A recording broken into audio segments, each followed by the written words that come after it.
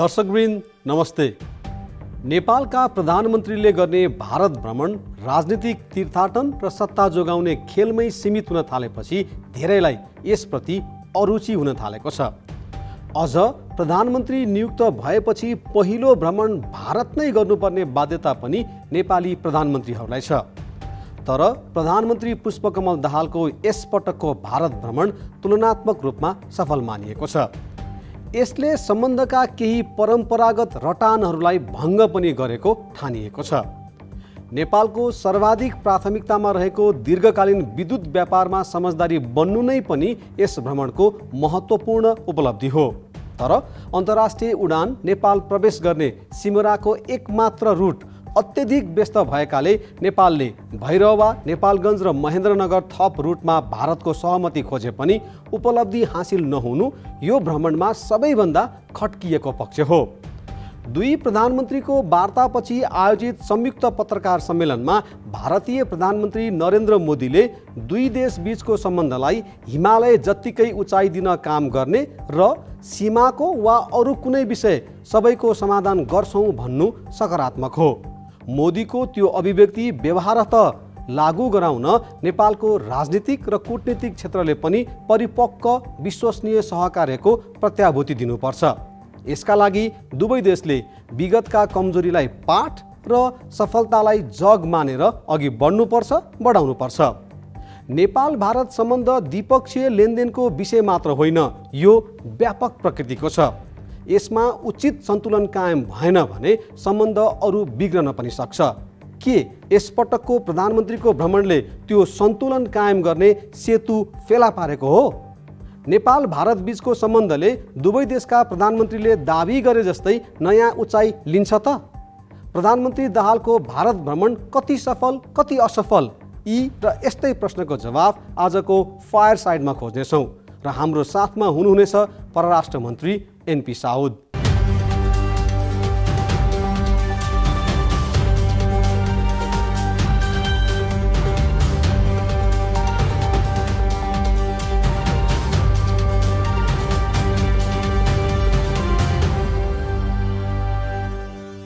प्रधानमन्त्री पुष्पकमल दाहालको भारत भ्रमणको तयारीकै क्रममा परराष्ट्र मन्त्री नियुक्त हुनुभएका एनपी साउद नेपाली काङ्ग्रेसका केन्द्रीय सदस्य हुनुहुन्छ।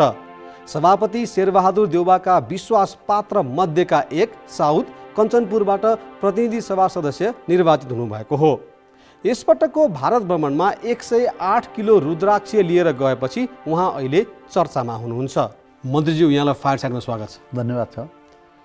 प्रधानमन्त्रीको भारत भ्रमणबाटै कुराकानी सुरु गर्न चाहे। प्रधानमन्त्रीको ट्विटर ह्यान्डलबाट चाहिँ यो भ्रमण राजकीय भनेर लेखिएको थियो। जबकि परराष्ट्र मन्त्रालयले नेपालको र भारतको विदेश मन्त्रालयले पनि यसलाई औपचारिक भ्रमण भनेर भनेको छ। खासमा यो राजकीय भ्रमण थियो कि औपचारिक? अब प्रधानमन्त्रीको भ्रमणलाई राजकीय या औपचारिक कुन स्तरमा गर्ने भन्ने सन्दर्भमा छलफल चलेको थियो? अन्त्यमा यो औपचारिक भ्रमणकै रूपमा चाहिँ हामी गएका थियौँ। भने प्रधानमन्त्री अलिक उत्साही हुनु भएर त्यस्तो ट्विटर ह्यान्डलबाट त्यस्तो रहन गयो भनेर भन्नु खोज्नुभयो के हो? होइन अब औपचारिक पनि हुनसक्छ राजकीय पनि हुनसक्छ भन्ने कुरा थियो। औपचारिक भ्रमण हो। हरेक प्रधानमन्त्रीले भारतको भ्रमण गरिसकेपछि चाहिँ नेपालमा आएर के भन्ने गरेका छन् भने यो एकदम फलदायी भयो। यसले नेपाल भारत बिचको सम्बन्धलाई नयाँ उचाइमा पुर्यायो भनेर भन्दै आउनुभएको छ। यसपटक पनि त्यसैको पुनरावृत्ति भयो कि यो पटकको भ्रमण चाहिँ अरू भ्रमणभन्दा अलिकति स्पष्ट रूपमा र फरक रूपमा चाहिँ फरक देखियो। अब नेपालको हरेक जसो प्रधानमन्त्रीहरूको भारत भिजिट हुने नै गर्छ। अफिस एज्युम गरिसकेपछि अब अहिलेको प्रधानमन्त्रीको भारत भ्रमणलाई हामीले सामान्य अर्थमा लिनुहुन्न। दुई तिनवटा विशिष्ट महत्त्वका कुराहरू भएका छन्। पहिलो कुरो त म तपाईँसँग के आग्रह गर्न चाहन्छु भने सीमा समस्या जो नेपालको आन्तरिक र बाह्य राजनीतिमा पनि अत्यन्तै महत्त्वपूर्ण रहिआएको छ। आन्तरिक रूपमा जनताको यसमा गम्भीर चासो छ र बाह्य रूपमा पनि यो दुई देश बिचको सम्बन्धका सन्दर्भमा चाहिँ यसलाई महत्त्व दिने गरिन्छ। त्यसका बारेमा पनि स्वयं भारतको प्रधानमन्त्रीले नै के भन्नुभएको छ भनेपछि हामी सीमा समेत थाँतिरहेका विषयहरूलाई वार्ता संवादको प्रक्रियाबाट समाधान गर्छु भन्नुभएको छ।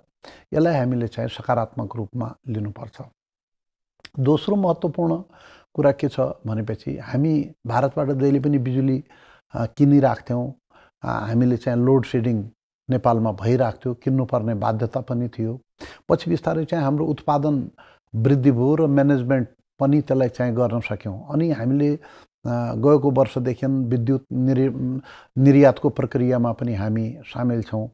हामी कहाँ चाहिँ विद्युत उत्पादनको जलस्रोतको अपार सम्पदा छ। त्यो अपार सम्पदालाई प्रयोग गर्नका लागि धेरै ठुलो तहमा यसमा लगानी भइरहेका छ नेपाली व्यवसायीहरूले पनि ठुलो लगानी अरबौँ खरबौँ रुपियाँ चाहिँ लगाएको अवस्था छ। इन्टरनेसनल एजेन्सिजहरू वर्ल्ड ब्याङ्क एडिबी जस्ता संस्थाहरूले पनि आइएमएफ जस्ता संस्थाहरूको पनि यतातिर इन्भल्भमेन्ट छ। तर यसमै पनि विद्युतमै पनि ठोस र हामी नेपालीलाई चाहिँ फाइदा पुग्ने गरी चाहिँ यो पटक समझदारी वा साझेदारी केही पनि भएन भनेर भनिरहेको छ नि अब तिनवटा यो विद्युत विकासका तिनवटा आयामहरू छन्। एउटा त चाहिँ पावर जेनेरेसनको कुरा आयो विद्युत उत्पादनको कुरा आयो। त्यो सन्दर्भमा पनि दुईवटा प्रमुख आयोजनाहरू फुकोट कर्णाली र यो अरुण तेस्रो यो अरुण चौथो। यो लोवर अरुणलाई चाहिँ हामीले भारतसँग एउटामा चाहिँ एमओयु भएको छ। विशेष गरेर चाहिँ यो फुकोट कर्णालीमा र यतातिर चाहिँ लोवर अरुणमा चाहिँ एग्रिमेन्ट भएको छ। त्यो दूरगामी असर राख्ने अथवा दूरगामी प्रभाव पर्ने खालको आयोजनाहरू भए। तर तत्कालका लागि चाहिँ नेपालले के पायो भनेर भन्दाखेरि?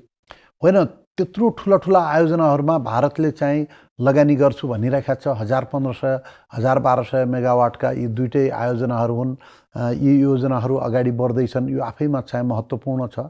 र पञ्चेश्वर आयोजनाका सन्दर्भमा पनि हामीले चाहिँ तिन महिनाभित्र डिपिआर तयार गरेर एक वर्षभित्र लगानीका स्रोतहरू जोडेर हामी चाहिँ विद्युतमा लगानी गर्छौँ भनेर चाहिँ दुइटै देशका बिचमा सहमति भएको छ। यहीँनिर चाहिँ जस्तो छब्बिस छब्बिस वर्षसम्म पनि हुन नसकेको डिपिआर अब तिन महिनामै हुन्छ अनि त्यसबाट हामीले लाभ लिन सक्छौँ भनेर चाहिँ कसरी भन्ने मन्त्री होइन यो डिपिआर छब्बिस वर्षसम्म चाहिँ यो प्रोजेक्ट कम्प्लिट हुन सकेन तर डिपिआरको अधिकांश काम भइसकेको छ।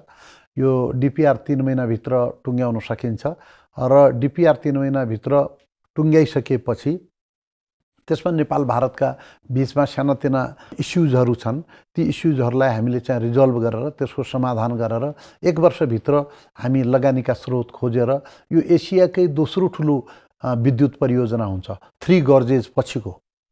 पञ्चेश्वरको डिपिआरको कुराकानी गर्दा नि मन्त्रीज्यू जस्तो पानीको भोग चलनमा नेपालको जुन अधिकार थियो नि त्यो अधिकार चाहिँ नेपालले यसपटक छाड्यो भनेर चाहिँ भनिएको छ।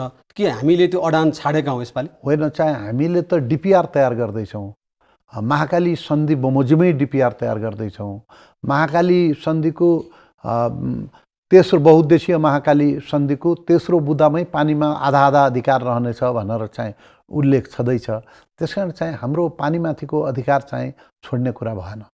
त्यसो भए भनिदिनुहोस् न परराष्ट्र मन्त्रीका हैसियतले अन्य प्रधानमन्त्री भन्दा पुष्पकमल दाहालले यसपटक गर्नुभएको भ्रमण चाहिँ सफल हो भनेर भन्न सक्नुहुन्छ तपाईँ? यो पटक भएको भ्रमण सफल भएको एउटा महत्त्वपूर्ण कारण मैले चाहिँ भने सीमा सम्बन्धी कुरामा चाहिँ भारतको लचकता देखियो। दोस्रो कारण भने विद्युतमा लगानी आकर्षित भएको छ। तेस्रो कुरा म भन्न चाहन्छु कि दुइटै देशको प्रधानमन्त्रीका बिचमा यो ट्रान्समिसन लाइनको उद्घाटन पनि भएको छ शिलान्यास पनि भएको छ र नयाँ ट्रान्समिसन लाइन पाँचवटा नेपालमा फेरि नयाँ बनाउने भनेर चाहिँ इन्डियाको चाहिँ चौथो फेजको जुन एलओसी छ लाइन अफ क्रेडिट छ त्यसबाट त्यो त्यो त्यो त्यो त्यो एलओसीबाट इन्डियन ब्याङ्कबाट जुन पाइने एलओसी हो त्यसबाट हामीले चाहिँ ट्रान्समिसन लाइन बनाउने काममा अगाडि बढ्छौँ भनेर त्यसमा पनि हाम्रो सहमति भएको छ। त्यति मात्रै नभइकन त्यसभन्दा अगाडि सबभन्दा महत्त्वपूर्ण हाम्रो सहमति के भएको छ भने हाम्रा व्यवसायीहरू लगानीकर्ताहरू पहिले के सोचिरहेका थिए भने विद्युतमा हामीले चाहिँ सारा भएको इनर्जी विद्युतको परियोजना बनाउने कुरामा लगाउँछौँ। बाहिरबाट लोन पनि लिएका हुन्छौँ। कतिपय पार्टनरहरू पनि बोलाइरहेका हुन्छ प्राइभेट सेक्टरले। तर त्यो उत्पादित विद्युत नेपालले खपत गर्ने सन्दर्भमा एउटा चाहिँ सेचुरेटेड सेचुरेटेड पोइन्ट आउँछ। एउटा चाहिँ बिन्दुभन्दा ज्यादा हामीले चाहिँ आन्तरिक विद्युत उत्पाद विद्युत खपत गर्न सक्दैनौँ भनेपछि त्यसको अन्तर्राष्ट्रिय बजार के हो? भारतले त्यो किन्ने कुरामा एस्योर गर्छ कि गर्दैन? नेपाललाई भनेर जुन चिन्ता चासो थियो भारतले अर्को अर्को एसुरेन्स पनि खोजिएको छ कि भारतले जुन जुन विद्युत आयोजनाहरू अथवा चाहिँ भारतलाई बनाउन दिने निर्माण गर्न दिने भनेर भनेको छ त्यसको कति समयमा पुरा हुन्छ? किनभने भारतीय पक्षले निर्माण गर्छु भनेका विद्युत आयोजनाहरू समयमै सम्पन्न नभएका त कैयन उदाहरणहरू छ फेरि। होइन त्यस्ता आयोजनाहरू सम्पन्न समयमै सम्पन्न नभएका आयोजनाहरू पनि छन्।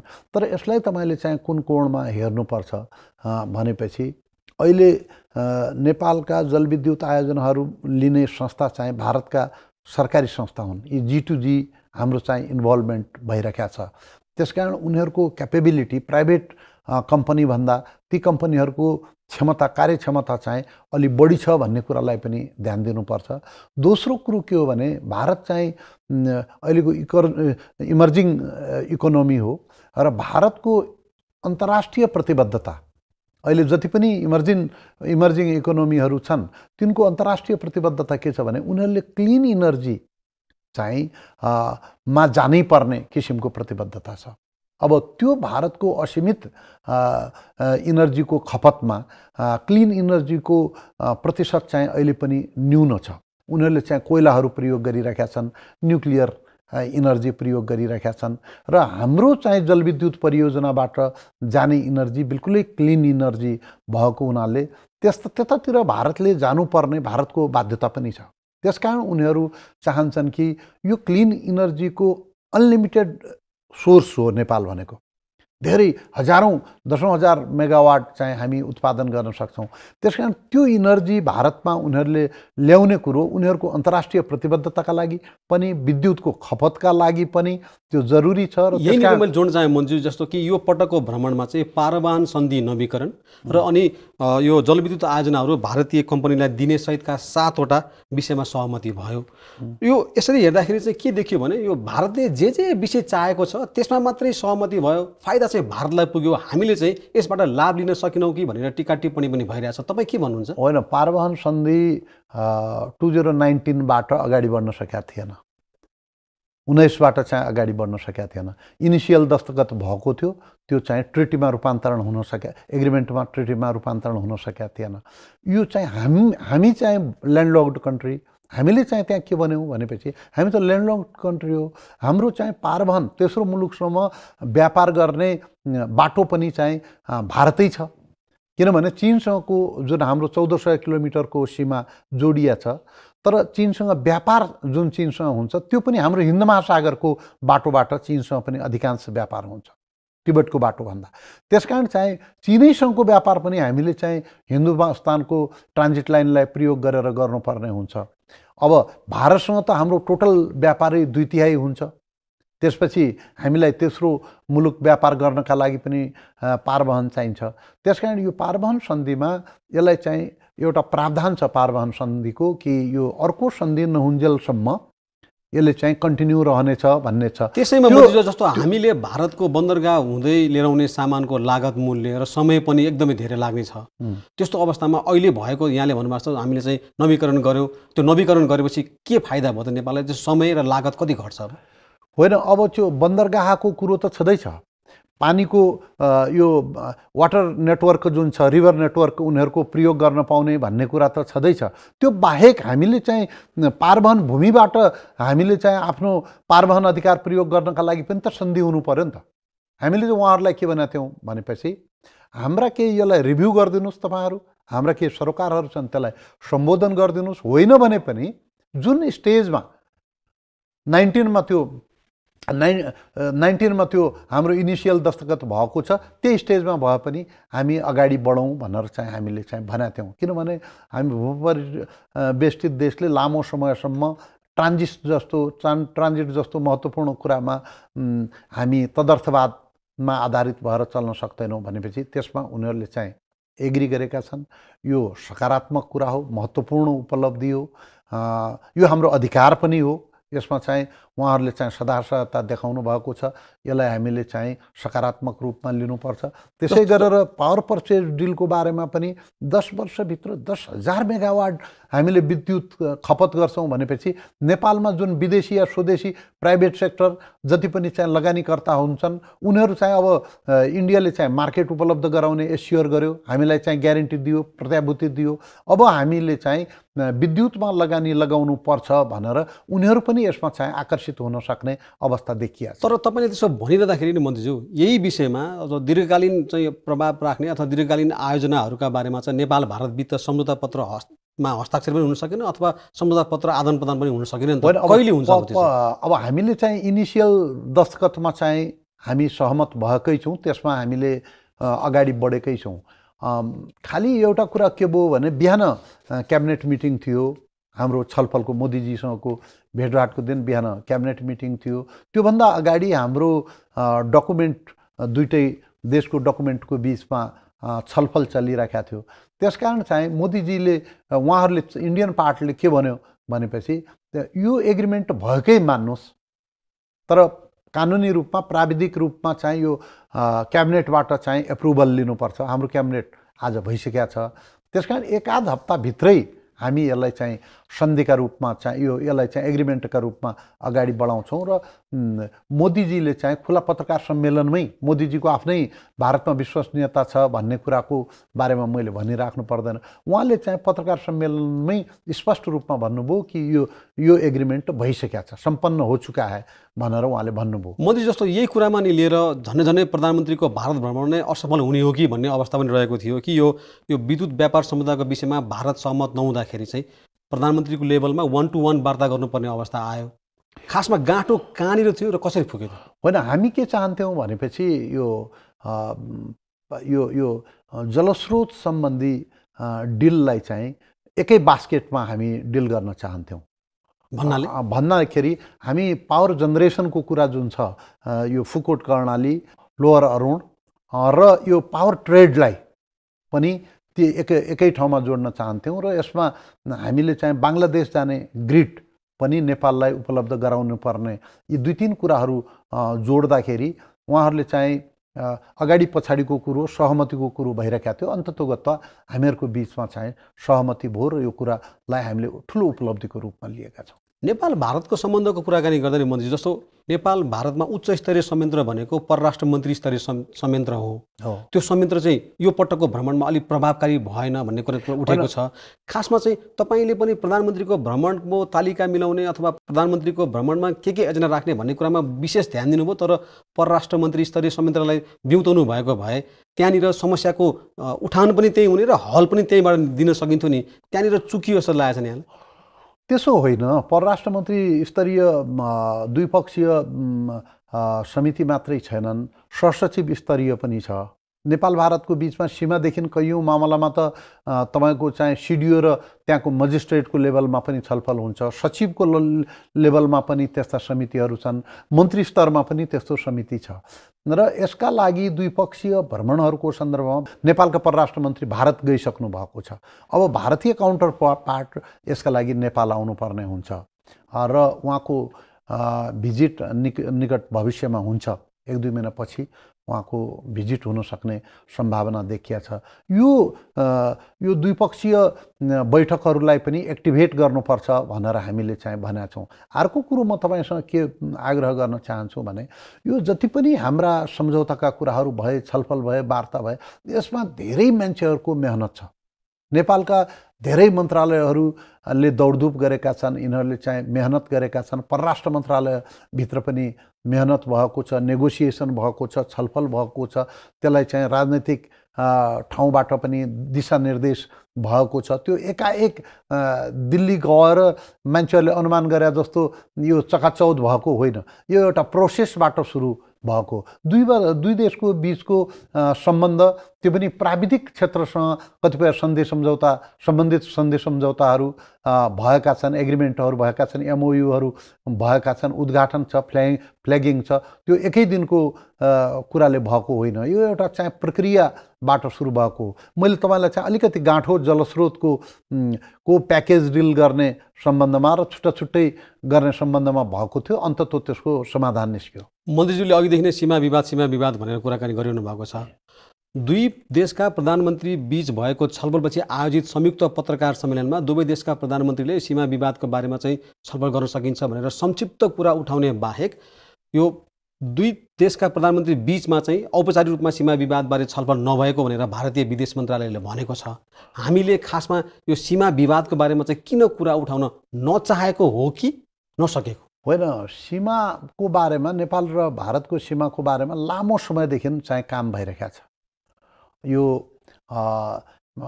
पञ्चायतकै अन्तिम क्षणमा पनि यो नेपालको नक्सालाई चाहिँ पुरानो प्राकृतिक जुन आधारमा यो नक्साहरू नदी नाला रुख जस्ता कुराहरूलाई डिमार्केसन राखेर चाहिँ नक्सा बन्यो म्यापिङ बन्यो अरू पनि आधारहरू त छन्।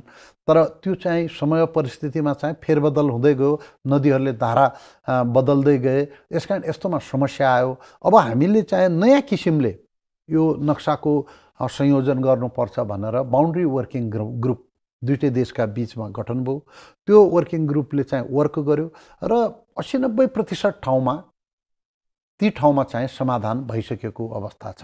यो बिचमा फुस्ताको बारेमा सहमति हुन सकेका थिएन कालापानीको बारेमा पनि सहमति हुन सकेका थिएन र अब अहिले त चाहिँ महाकालीको ओरिजिनको बारेमा पनि उद्गम बिन्दुको बारेमा पनि नेपालले सुगौली सन्धि अनुसार चाहिँ काली नदी यो हो र काली नदीको बिन्दु यो हो भनेर चाहिँ आफ्नो दावा चाहिँ स्पष्ट रूपमा राष्ट्रिय सहमतिले नक्सामा उल्लेख गरिसकेको परिस्थिति छ। यी सब कुराहरू छन्।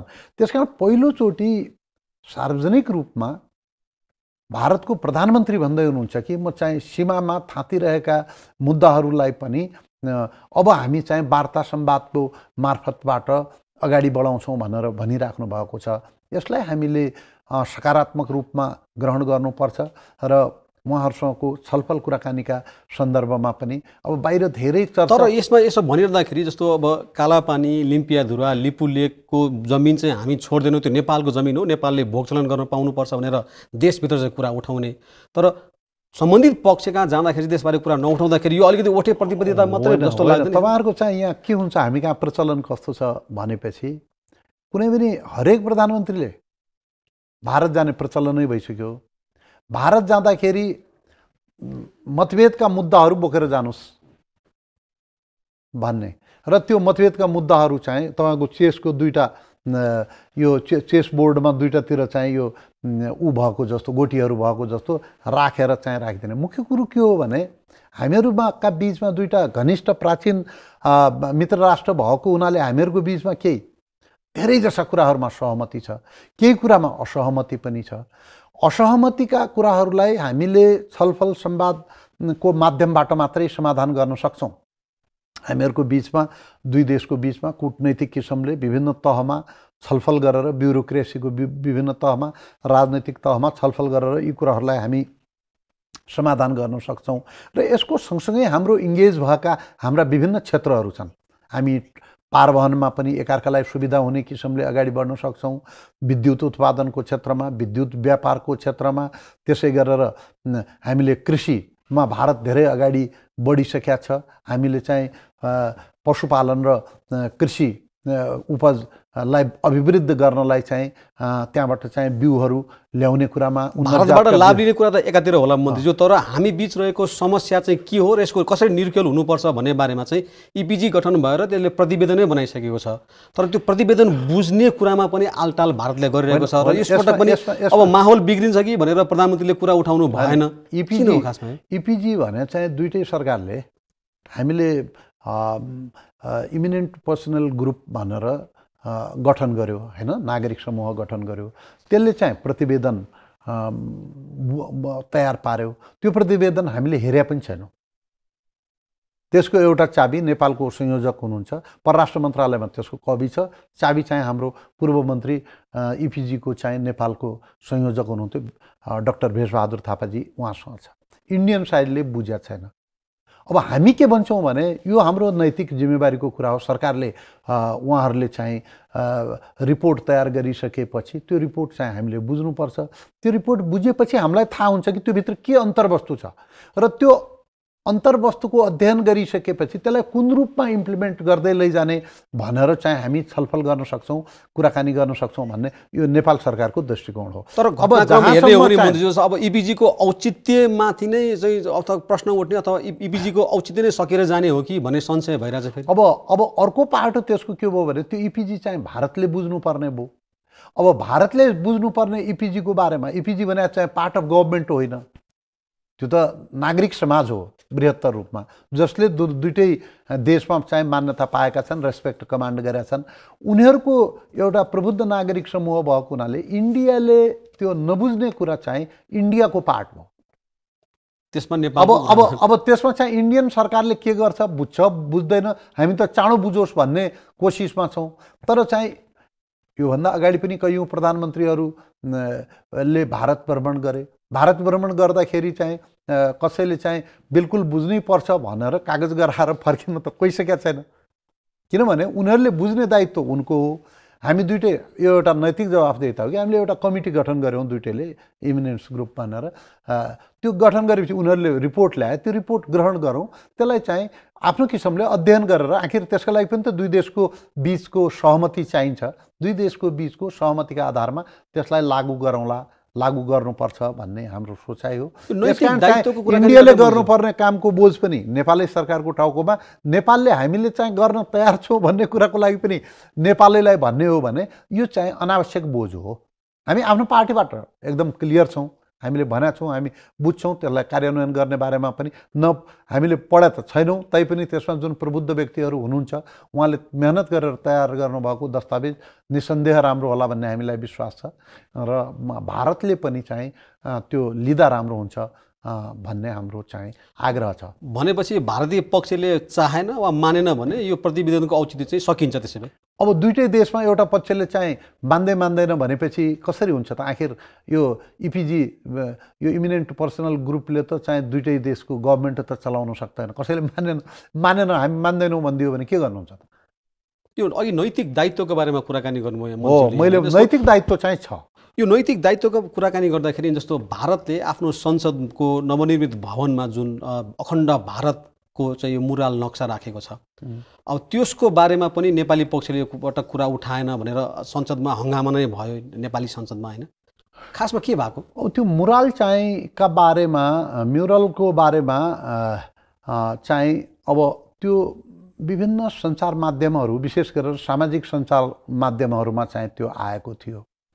अब सञ्चार माध्यमबाट आएको कुरामा दुई देशको बिचको प्रधानमन्त्रीको एजेन्डा फर्मुलेट गर्दाखेरि अब त्यसको बारेमा यथेष्ट आधारहरू हामीसँग चाहिँ भएपछि मात्रै कुरा गर्दाखेरि राम्रो हुन्छ। अब त्यहाँ चाहिँ हामी हाम्रो चाहिँ परराष्ट्रको सङ्काय भने राजदूतावासले पनि यो म्युरल यसरी छ भन्ने कुराको चाहिँ विधिवत जानकारी आउनुपर्छ। भारत सरकारले यो म्युरल यो प्रयोजनका लागि यसरी बनाएको हो भनेर चाहिँ त्यसलाई त्यसको बारेमा व्याख्या विश्लेषण गर्नुपर्छ। त्यो पनि त्यो बेलासम्म भइसकेको अवस्था थिएन।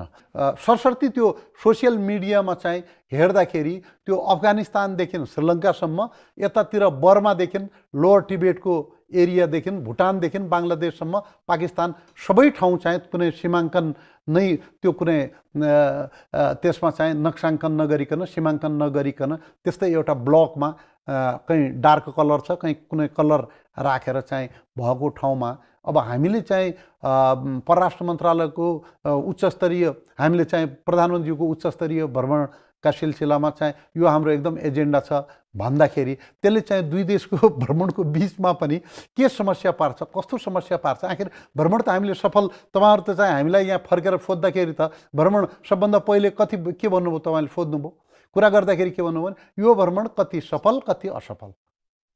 त भ्रमण सफल गर्न जाँदाखेरि जुन आवश्यक प्रमाणहरू लिएर आवश्यक एजेन्डाहरू लिएर हामीले जानुपर्छ र यसको बारेमा पनि कहीँनिर नेपालको भूमि एक इन्च पनि च्यापिएको छ राखिएको छ भनेपछि त्यसको बारेमा नेपाल सरकार सजग छ सचेत छ। त्यसको बारेमा वार्ता हुन्छ। हामी कुनै पनि हालतमा त्यो कुरोलाई एक्सेप्ट गर्न सक्दैनौँ। तर अब कुनै भारत सरकारले बोलेको छैन। यो म्युरल भित्तिचित्र के प्रयोजनले कहाँ हो भनेर बोलेको थिएन। त्यो बेला अहिले चाहिँ भारत सरकारले बोलेर यो अशोकको नक्सा हो यो चाहिँ त्यो बेला यो दक्षिण एसिया लाई त्यसमा समेटिएको छ। त्यसमा कुनै राजनैतिक न त्यसमा ऊ पनि देखिन्न रेखाङ्कन पनि देखिन्न भन्ने कुरा आइसकेपछि यो पछाडिको चाहिँ स्थिति विकास हो। मैले चाहिँ जाने पत्रकारले खोज्ने बित्तिकै मान्छेहरूको अपेक्षा के छ भने पत्रकारले खोज्ने बित्तिकै मैले चाहिँ आफ्नो कुटनैतिक मर्यादा मुलुकको प्रधानमन्त्रीको विदेश भिजिट भएको बेलामा मैले चाहिँ आधिकारिक जानकारीमा नआएको कुरा आधिकारिक रूपमा हाम्रो एजेन्डामा नभएको कुरोलाई हामीले चाहिँ पत्रकारले खोज्दैमा चाहिँ त्यसलाई रेस्पोन्स गरिहाल्नुपर्छ भन्ने होइन। मैले फेसबुकमा म जोड्न चाहेँ जस्तो यो सीमा विवादको बारेमा नि यो कालापानीको विवाद चाहिँ बङ्गलादेशी मोडलमा हल गर्न सकिन्छ भनेर प्रधानमन्त्रीले भन्नुभयो। त्यसको बारेमा संसदमा आज उहाँले जवाफै दिनु पर्यो यो प्रधानमन्त्रीले भन्नुभएको यो बङ्गलादेशी मोडल भने के हो खासमा?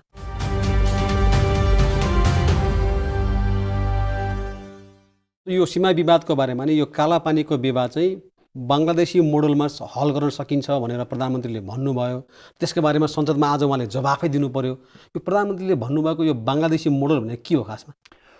अब बङ्गलादेशी मोडल भने चाहिँ के हो भने बङ्गलादेश र इन्डियाको बिचमा जुन सीमा विवाद समाधान भयो त्यो पूर्णत निर्विवाद किसिमले भयो। भारतको संसदबाट त्यसलाई पारित गर्दाखेरि एकजना पनि भोट भारतको पार्लियामेन्टरियनको सांसदको एकजना भोट पनि चाहिँ विपक्षमा परेन। त्यसकारण नेपालभित्र पनि त्यो सहमति गर्नुपर्छ। नेपालका सबै राजनैतिक दल संसद सबैले चाहिँ सहमति गर्नुपर्छ र भारतका बिचमा पनि आवश्यक गृह कार्य गरेर यो समस्यालाई चाहिँ समाधान गर्नुपर्छ भन्ने दृष्टिकोणले चाहिँ यो कुरा आएको हो। भने यसबारे औपचारिक रूपमा छलफल भयो भ्रमणको बेलामा? अब चाहिँ यो यो यो हुन्छ नि थुप्रै बारेमा सीमा विवादका बारेमा छलफल नभइकन भारतीय प्रधानमन्त्रीले चाहिँ कसरी भन्नुभयो होला यो विवाद छ यसलाई चाहिँ समाधान गर्छौँ भनेर भारतीय प्रधानमन्त्रीले चाहिँ भन्नुभएको छ। अब त्यो वार्ता मात्रै सल्लाह हो मैले भनेको होइन भनेर आज संसदमा जवाफ दिनु पर्यो होइन त्यो त चाहिँ यो त्यसमा चाहिँ त्यो विभिन्न अप्सनको बारेमा कुरा आउँदाखेरि यो विज्ञहरूको भनाइ हो भन्नुभएको छ। उहाँले चाहिँ भारतसँग नेपालको जुन सीमा विवाद छ त्यसलाई दुई देशको बिचको संवादको माध्यमबाट हल गर्नुपर्छ भन्ने कुरा त्यो बुद्धिजीवीको होइन त्यो सरकारकै हो। हाम्रो पनि त्यसमा प्रतिबद्धता छ भारतको पनि प्रतिबद्धता छ। कसरी समाधान गर्ने भन्ने बारेमा बहस छलफल हुनसक्छ। अब भएका बहस छलफलहरू पनि टेक्निकल तहमा विभिन्न तहमा चाहिँ छलफलहरू हुन्छन्। त्यसको बारेमा जम्मै चाहिँ त्यो ओपन गरिदिएपछि त कतिपय कुराहरू छलफल वार्ताको माध्यममा जान्छन्। कुनै प्रधानमन्त्री तहमा हुन्छ कुनै मन्त्रीहरूको तहमा छलफल हुन्छ कुनै सचिवको तहमा छलफल हुन्छ क्लासिफाइड कुराहरू हुन्छन्। त्यसमा चाहिँ ठिक्क कुरा गर्दाखेरि राम्रो हुन्छ। अब अलिकति हवाई रुटको बारेमा कुराकानी गरौँ होला। यसलाई पनि निकै प्राथमिकताका साथ राखिएको थियो। नेपाली पक्षले आफ्नो मुद्दा बनाएको थियो। तर यसमा पनि खास ठोस प्रगति त नेपाली पक्षले हासिल गर्न सकेन नि यो पटक भ्रमणमा। किन यस्तो भएको? हवाई रुटको बारेमा चाहिँ हाम्रो अलि यो सिमरावाला जुन रुट छ त्यो धेरै ज्यादा बिजी भयो कन्जस्टेड भयो। त्यस कारण हामीलाई चाहिँ महेन्द्रगरको बाटो फ्युल सेभिङको दृष्टिकोणले पनि दिल्ली आदि इत्यादि ठुला ठुला सहरहरूसँग नेपाललाई जोड्ने सन्दर्भमा पनि अन्तर्राष्ट्रिय फ्लाइटका लागि पनि चाहिँ यो उपयुक्त हुनसक्छ राम्रो हुनसक्छ भन्ने नेपालको भनाइरहिआएको छ। नेपालले आफ्नो कुरा स्पष्टसँग राखेको छ।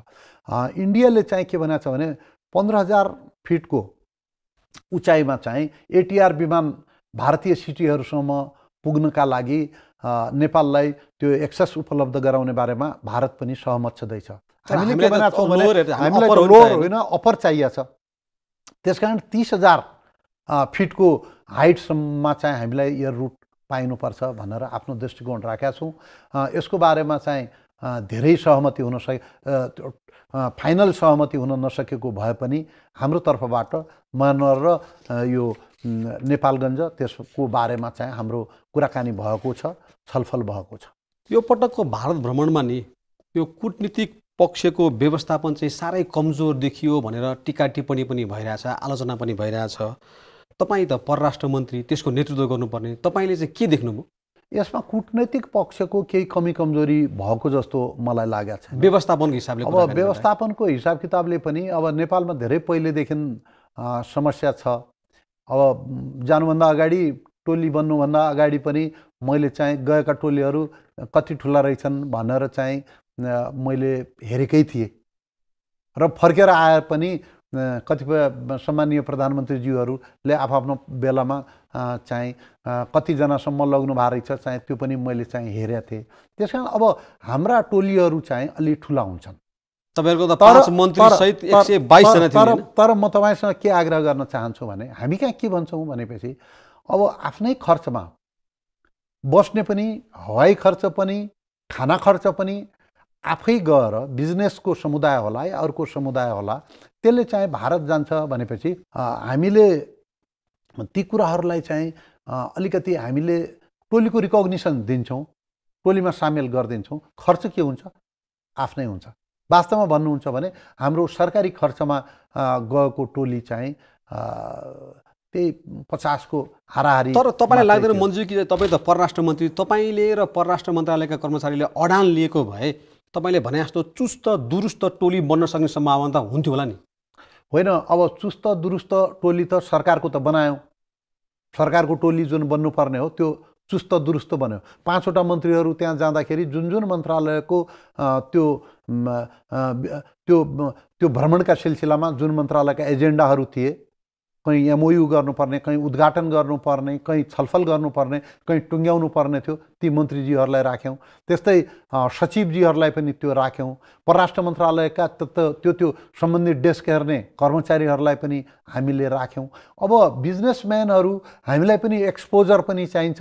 हाम्रो खर्च हाम तपाईँहरूले दिनु पर्दैन। उद्योग वाणिज्य सङ्घका मान्छे हौँ या अरू विभिन्न सङ्घ संस्थाका मान्छे हौँ हाम्रो चाहिँ त्यहाँ बिजनेस समिट हुन्छ। तपाईँहरूसँग गयौँ भनेपछि हामीले बिजनेसम्यानहरूसँग इन्टरेक्सन गरेर छलफल गरेर लगानी भित्र्याउने भन्नुहुन्छ मन्जु तर पाँचजना मन्त्री जानुभयो तर उहाँहरूको भूमिका नै दिल्लीमा खास देखिएन भनेर टिका टिप्पणी भएको थियो फेरि। होइन अब भूमिका भने के भन्नु खोज्नु भएको त? भूमिका भनेको चाहिँ प्रधानमन्त्री अग्रसर भएको प्रधानमन्त्री नै अग्रसर हुनुपर्ने उहाँले नै चाहिँ इनिसिएसन लिनुपर्ने अवस्था भयो भने होइन। त्यो साथ लाएर चाहिँ एउटा एउटा एउटा कुरा म तपाईँसँग के आग्रह गर्न चाहन्छु भने प्रधानमन्त्रीज्यूकै नेतृत्वमा हामी गएका हौँ। प्रधानमन्त्रीज्यूले चाहिँ यो प्रधानमन्त्रीकै भ्रमण भएको हुनाले प्रति प्रधानमन्त्रीज्यूको गतिशीलता चाहिँ यो भ्रमणका सन्दर्भमा अपेक्षित नै थियो। अब उहाँको भेटघाट हुने कुरा उहाँले इनिसिएसन लिने कुरा हामी त चाहिँ प्रधानमन्त्रीको भ्रमणको पार्ट मात्रै थियौँ उहाँको सहयोगीको रूपमा हामी चाहिँ गएको अवस्था थियो। त्यसलाई चाहिँ प्रधानमन्त्रीको एक्टिभिटीलाई चाहिँ या प्रधानमन्त्रीको सक्रियतालाई चाहिँ मन्त्रीहरूसँग प्यारल बनाएर चाहिँ समानान्तर बनाएर चाहिँ बुझिदिनु भएन। यो हामी पनि आफ्नो ठाउँमा काम गरिरहेका थियौँ। त्यहाँ चाहिँ प्रधानमन्त्री तहमा उपरा उपराष्ट्रपति तहमा या राष्ट्रपतिको तहमा त्यसै गरेर चाहिँ विभिन्न तहमा चाहिँ छलफलहरू कुराकानीहरू हाम्रो चाहिँ भएको थियो। तर एउटा अन्तर्राष्ट्रिय प्रचलन के हुन्छ भनेपछि भिजिटमा चाहिँ प्यारल कुराकानी गर्नुहुन्न।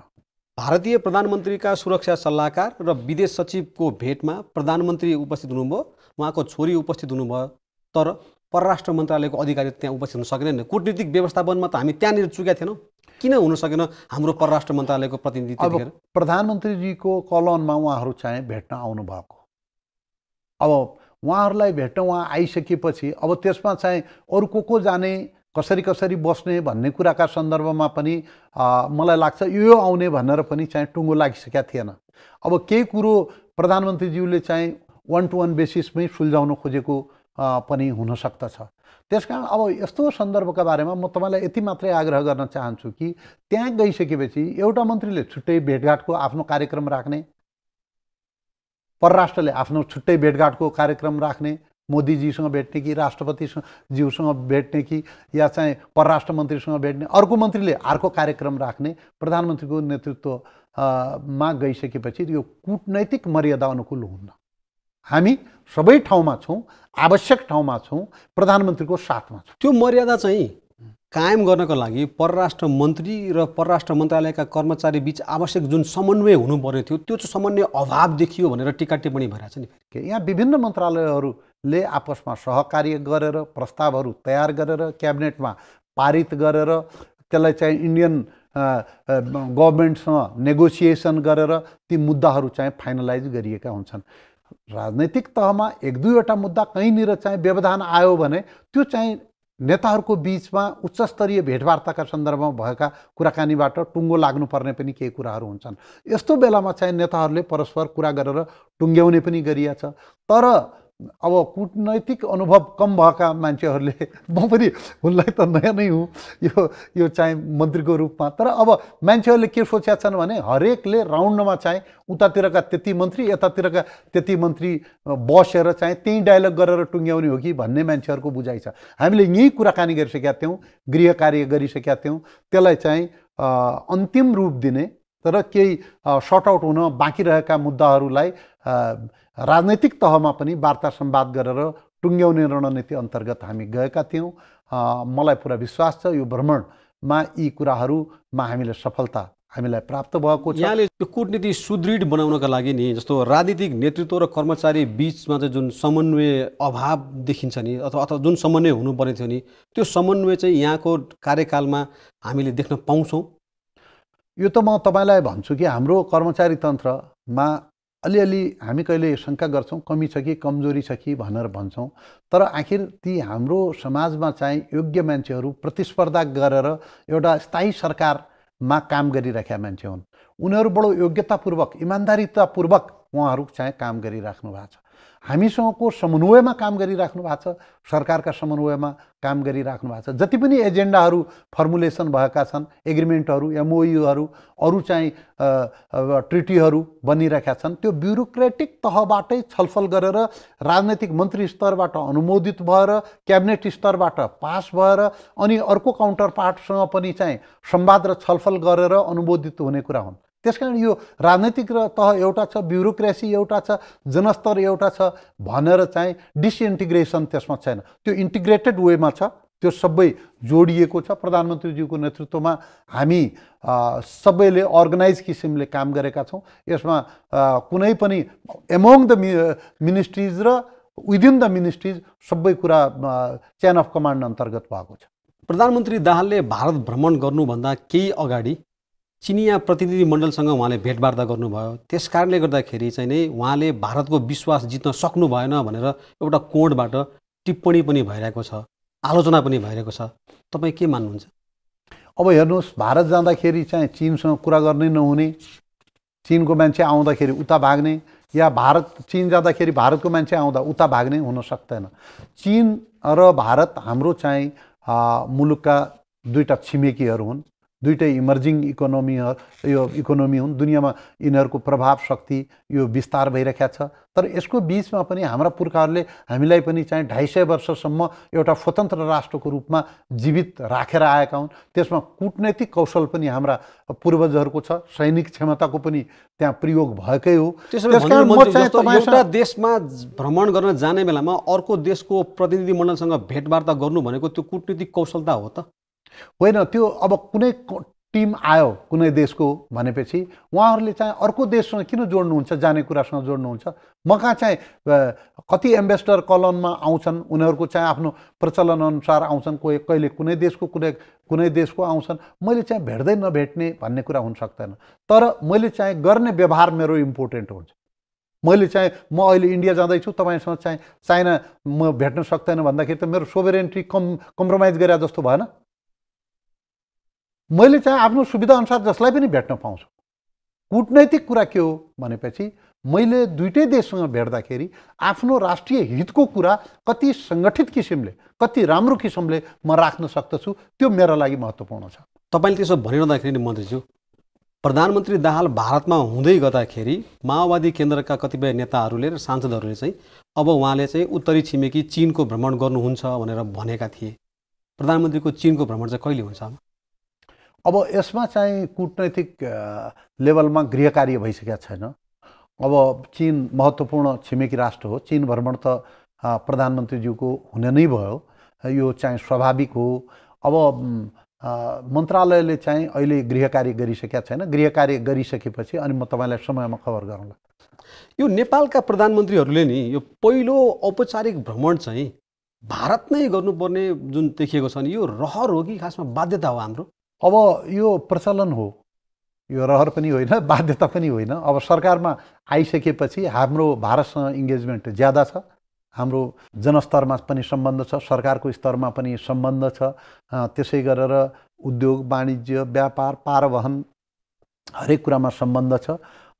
यो सम्बन्धलाई महत्त्व दिएर भारतसँग कहीँनिर यसलाई सम्बन्धलाई अगाडि बढाउने कहीँनिर यसो चाहिँ सर्ट आउट हुन बाँकी मुद्दा छन् भने त्यसलाई समाधान गर्ने कुरालाई प्राथमिकतामा दिएको हुनसक्छ। तर हामीले चाहिँ चिनलाई पनि जहिले पनि असल छिमेकी राष्ट्रको छिमेकी परम्परा त होइन होला नि होइन? टुट्याएको थियो त पहिले। प्रचण्डजी आफै पहिले उत्तर जानुभएको थियो पछि टु थाउजन्ड एटमा उहाँ चाहिँ चिन जाने जानुभयो बेजिङ ओलम्पिकमा तर उहाँले आएर के भनिदिनु भयो भने मेरो यो चाहिँ औपचारिक भ्रमण होइन औपचारिक भ्रमण चाहिँ भारतबाटै हुन्छ भनेर भनिदिनु भएको थियो त्यतिखेर उहाँले पनि।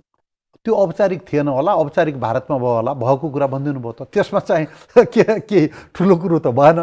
चिनमा चाहिँ उहाँ एउटा कार्यक्रममा जानुभएको ओलम्पिकमा ओलम्पिकमा जानुभएको थियो। त तल चाहिँ भारत जाँदाखेरि औपचारिकमा जानुभयो। यो नेपाल भारतको चाहिँ सम्बन्धमा कुराकानी गर्दाखेरि जहिले पनि यो सुरक्षा चासोको विषयमा चाहिँ जहिले पनि कुराहरू उठ्ने गरेको छ। यसपटक पनि सुरक्षा लगायतका विषयमा त भारतले चासो राख्यो होला। एयर मार्सलको कुरा त छँदैछ। त्यसभन्दा बाहेक पनि कुराकानी गर्दाखेरि यो सन् दुई हजार तेइससम्म आइपुग्दाखेरि भारतको सुरक्षा चासो र नेपालको चाहिँ हुन्छ नि नेपालले त्यसमा पनि खेल्न भूमिकाको बारेमा चाहिँ केही नयाँ देखियो नेपाली भारत र चिन त हेर्नुहोस् छिमेकी मुलुकहरू हुन्। उनीहरूका त सुरक्षा चासो हुन्छ नै। अहिले त चाहिँ यो यो ग्लोबलाइजेसनको एज भएको हुनाले यो बेला त चाहिँ सबै अन्तर्राष्ट्रिय शक्तिहरूले नै आफ्नो सुरक्षालाई चाहिँ ध्यान राखिरहेका हुन्छन् विचार पुर्याइरहेका हुन्छन्। त्यस कारण हाम्रो एउटा असंलग्न परराष्ट्र नीति छ। हामी युएनको चार्टरलाई मान्छौँ। त्यति मात्रै नभइकन हाम्रो के छ भने आफ्नो देशको मामलामा कसैले चाहिँ हस्तक्षेप नगरोस्। हाम्रो सार्वभौमिक सत्ता राष्ट्रिय अखण्डता त्यसपछि हाम्रो एकतालाई कसैले चाहिँ च्यालेन्ज नगरोस्। हामी पनि कुनै देशको आन्तरिक सुरक्षा परिस्थितिलाई प्रतिकूल हुने गरेर हामी काम गर्दैनौँ भनेर हाम्रो प्रतिबद्धता रहन्छ। चिनको हामी चाहिँ एकचिन नीतिलाई हामीले मान्छौँ। आफ्नो भूमिलाई चिनको विरुद्ध प्रयोग गर्ने कुरामा हामी जहिले पनि सजग छौँ हामी त्यस्तो हुन दिन्नौँ।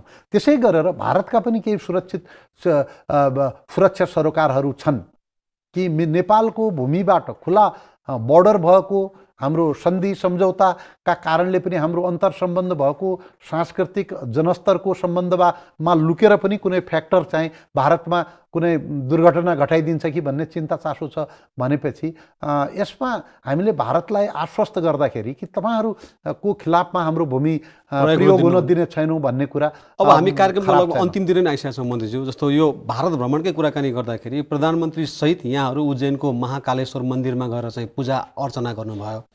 अब यो प्रधानमन्त्री सहित मन्त्रीहरू नै लाभा लस्कर लगाएर पूजा गर्नुपर्ने चाहिँ के आपत आइपऱ्यो यहाँहरूलाई?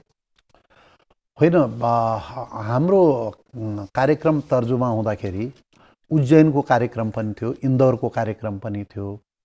अब त्यो कार्यक्रममा हामीले यो यो विशेष गरेर यो फोहोर मैला व्यवस्थापनको कार्यक्रमलाई पनि र सँगसँगै यो टाटा कन्सल्टेन्सीको एउटा चाहिँ आइटी प्रोग्राम पनि हेर्नुपर्ने यो चाहिँ प्रशासनिकैसँग सम्बन्धित काम थियो। त्यहाँ चाहिँ धेरै ठुलो प्राचीन मन्दिर छ महाकालेश्वरको। महाकालेश्वरको मन्दिरको कार्यक्रम पनि त्यो मन्दिर करिब आठ अरब भारू रुपियाँ बनेको छ। बनिरहेको छ। अहिले पनि अन्डर कन्स्ट्रक्सन छ। साढे तिन अरब जति खर्च भइसकेको छ। पुरानो मन्दिर हो महत्त्वपूर्ण मन्दिर हो। त्यहाँ जाने कार्यक्रम भारत सरकारले त्यो कार्यक्रम राखेको थियो। अब त्यो कार्यक्रममा हामी गयौँ। अब मन्दिर गएपछि हेर्नुहोस् म त पर्यटक होइन। मन्दिर त को जान्छ? म त श्रद्धालुको हिसाब किताबले मन्दिर जाने भए मैले पूजा गरेँ मैले रुद्राक्ष चढाएँ। एक सय आठ मैले मैले मैले चाहिँ एक सय आठ किलोको भनेर बाहिर आएको छ तर त्यो एक सौ आठ दानाका एक सौ आठ मालाहरू हुन्। अब त्यहाँ पुगिसकेपछि हामीले चाहिँ पूजा आजा गऱ्यौँ त्यहाँको विधि परम्परालाई हामीले सम्मान गऱ्यौँ। ईश्वर कहाँ गएपछि? भगवान्को मन्दिरमा गएपछि समर्पण गर्नुपर्छ कि पर्दैन?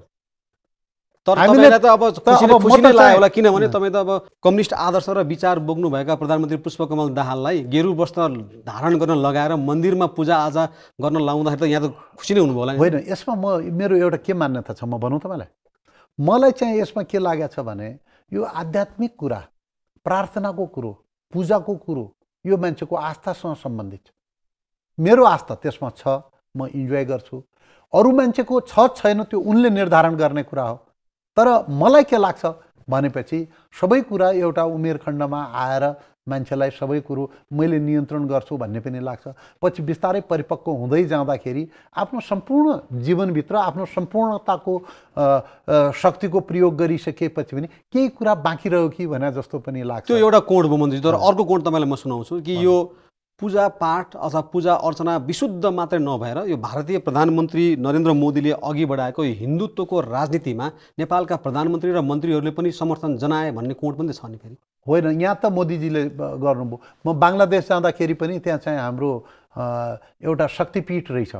त्यहाँको फेमस ढा ढाकेश्वरी देवीको शक्तिपीठ रहेछ। अब म त चाहिँ अब पूजाआजा गर्नुपर्ने मान्छे मन्दिर गएँ देवीको दर्शन गरेर आएँ यहाँ महादेवको दर्शन गरेर आयौँ। अब हामीले के गरेका छौँ? मन्दिर गयौँ पूजा गऱ्यौँ खुसी भयौँ फर्क्यौँ। तपाईँहरूले आदर्श मान्नुभएका व्यक्ति विश्वेश्वर प्रसाद कोइरालाले के भन्नुहुन्थ्यो भने कि धार्मिक स्वतन्त्रता चाहिँ व्यक्तिको अधिकारको कुरा हो। हो। तर राज्यको चाहिँ कुनै धर्म हुँदैन।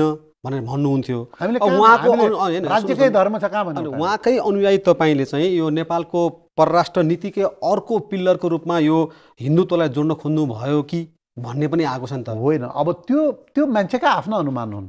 सबै धर्मका धेरै धर्मका मान्छेहरू त्यहाँ छन्। कसैको बहुमत होला कसैको अल्पमत होला। सबैलाई हामीले धार्मिक स्वतन्त्रता उपलब्ध गराएका छौँ। संविधानको अथ लिएर चाहिँ हामी आएका छौँ। अब धार्मिक स्वतन्त्रताको हामी पक्षमा छौँ। अब सनातन मूल्य पद्धतिको पनि संरक्षण हुनुपर्छ।